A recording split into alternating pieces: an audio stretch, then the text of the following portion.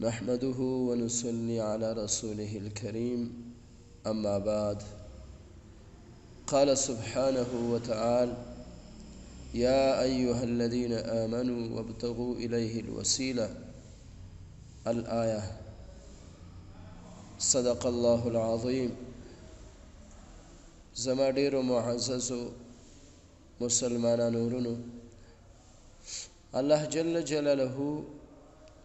فرمايي چې تاسو د الله جل جلاله طرف ته قرب حاصلوئ، نزدېکت حاصلوئ، نو په نېکو اعمالو سره به کېږي. وسیله. ما يتوسل به ته ويلی شي کوم څيز سره چې يو انسان يو څيز ته نږدې کيږي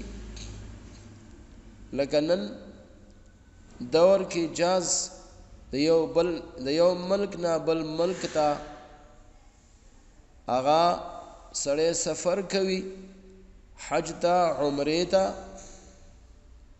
حرمینو ته ځي یا عام د دنیا تجارت دپاره نو جاز دا یو وسیله ده چې په ډیر مختصر ټیم کې ډیر لري علاقه ته ورسیږي یا په یو ملک اندرون داسې ګاډي نن سبا راغلل چې هغه سره دوه نیمې درې ګنټې مزل وشي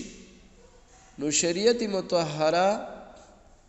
چې څومره د سفر اندازه ښودلې ده 70 کیلومتر هغه په یو نیمه ګنټه کې وای حالانکه هغه د درې ورځو پیدل مزل دی نو دا وسیله شوه، الدنیا او بالوسائل، د دنیا چې څومره زندګي ده دا په اسبابو باندې ده. دارنګې معززو د الله جل جلاله طرف ته نزدېکت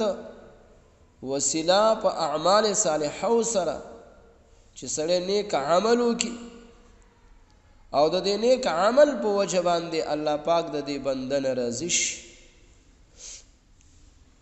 نبي کریم صلی الله علیه وسلم د نیکو اعمالو د وسیلې یو واقعه ذکر کوي چې بنی اسرائیلو کې یو درې کسان په سفر باندې روان وو. دوی سفر کولو ها ها شپه راغله. یو غره ته لاړل، غره کې دننه غار و، په هغه غار کې شپه راغله. خو بره د غره نه یو عظیم لوی کاڼی را پرېوتو، ښکته راغی او د غار دا خوله یې بنده کړه. درې کسان ملګري په دې غار کې دننه بند شو. د وتلو څه لاره چاره نه وه.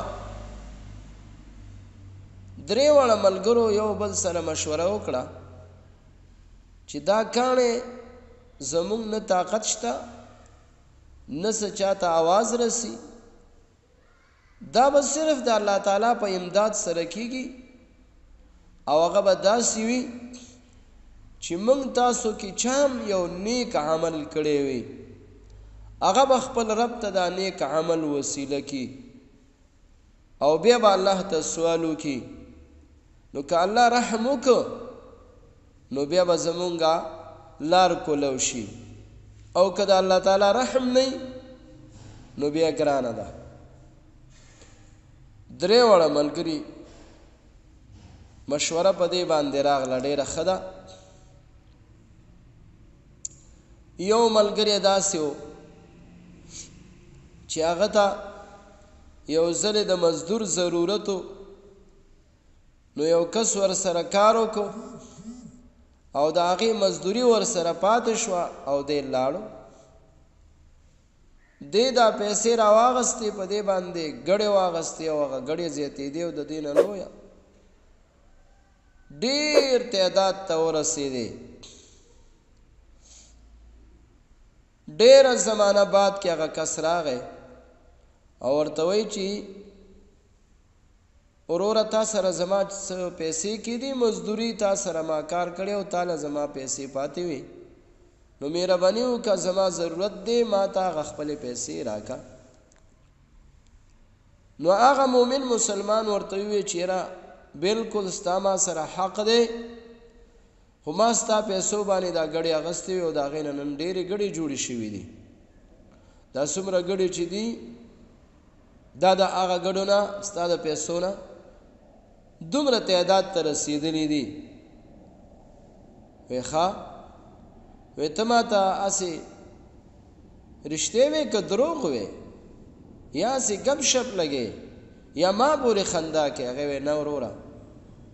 يقيني درته ويم دا ستا خپل حق دی واخله اټولې ګړې وله ورکړې نو وې وې چې یا الله ما دا عمل ستا رضا د پاره کړو الله که تا ته دا زما عمل قبول وي نو یا الله په دا کوم ازمایش کې چې مونږ ګیر یو مونږ ته دې کې رب کریمه نجات را او دا کاڼی لرې کا نو هغه کاڼی حرکت وکړو څه نا څه غار کولاو شو دویم ملګری هغې وې یا الله داسې زمانه راغله چې زما د تره لور وه او هغې سره څه نه و، د هغې پیسو ته ضرورت و، الله تعالی ما هغه ته سل روپۍ، دیناره، د سونې نه جوړې شوې پیسې هغه سل دینار ما ده ته ورکړل خو الله ما خپل ځان هم محفوظ که او دغه بی بی می محفوظ کړی ده چیرته په بد نظر ما ده ته نه دی لیدلی الله ما هغه پیسی دی ته ورکړی او ستا په نوم می ورته ور وبخښلې بخشش مې کړې هدیه مې کړې یا رب که دا عمل چیرته تاته قبول وي نو الله په دې کوم ازمایش کې چې مونږ ګیر یو الله مونږ ته د ده نه نجات راکه هغه سوال هم الله قبول کړ حرکت په کاڼي کې راغی. د غار خوله نورم زیاته کولاو شوه. دریم ملګری د دوی نه و، هغه وې چې یا الله! زما په کور کې مور او پلار وو، ما به د هغې خدمت کولو او چې کله به زه د بهر نه راغلم نو ما به د څاروو د غوا شودې راواغستې په مور او پلار به مې څکلې. یوه ورځ داسې راغله چې زه د شپې ډېر ناوخته راغلم. مور او پلار مې مو وده وو، بچیان هم وو. ما شودې راواغستې جام کې او د مور پلار د بستر خوا کې ولاړ وم. ټوله شپه تېره شوه په ولاړه باندې بچو ته مې هغه شودې ورنه کړې، کله مې چې مور پلار را پاڅېدل ما شودې اول په هغې باندې وڅکلې، د بچو مې هم ضرورت و خو ما وې نه حق زما د مور او پلار ډېر دی. نو یا الله که ما دغه خدمت کوم کړی ستا رضا د پاره او دا عمل تا ته قبول وي ربه نو الله په دې کوم ازمایش کې چې مونږ اخته شوي یو مونږ ته د دینه نجات راکا اغم چې کله دا سوال وکړ مکمل کانه اخوا شو لار کولاو شو عزیزانو دا یو نیک عمل د مسلمان دا وسیله ګرځول او دا سوال کول چې الله ما دا صدقه وکړه د قران تلاوت مې وکړو نوافل مې وکړو ذکر او اذکار مې وکړو درود شریف مې وویلو یو مسلمان سره می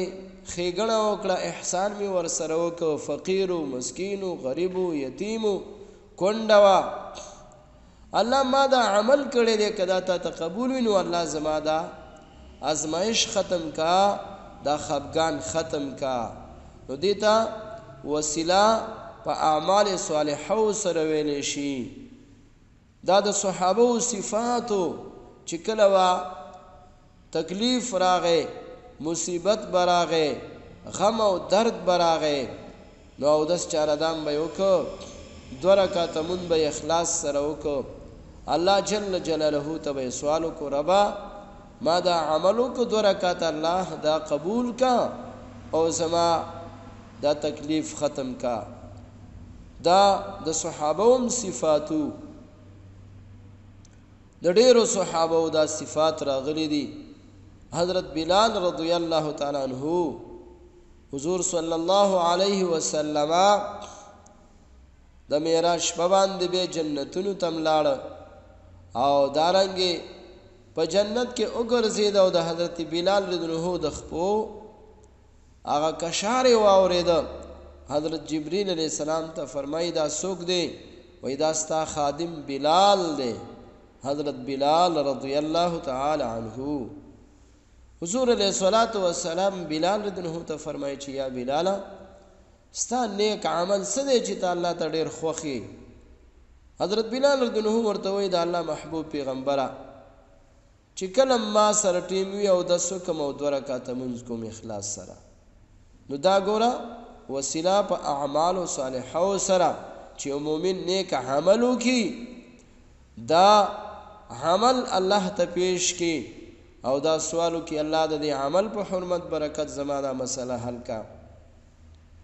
یقینا الله تعالی د بندګانو سوال هم قبلوي، د بندګانو نیک اعمال چې په هغه کې اخلاص موجود وي او په ښه صحیح نیت سره وشي هغه هم الله قبلوي، الله دې موږ تاسو ته هم د نیکو اعمالو توفیق رانصیب کړي، رب کریم دې زموږ ستاسو د نیکو اعمالو په وجه باندې بد اعمال چې څومره دي هغه دې الله په نیکو اعمالو باندې بدل کړي، واخر دعوانا ان الحمدلله رب العالمین.